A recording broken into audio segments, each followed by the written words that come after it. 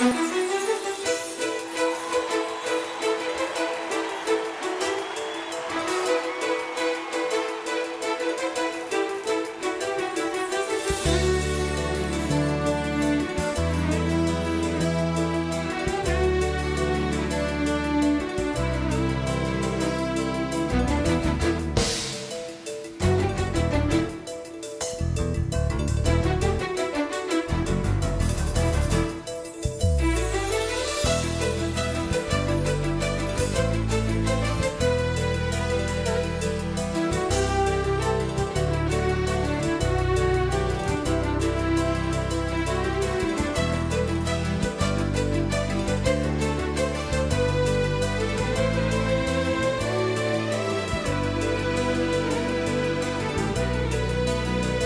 Within Attraction is a very old song.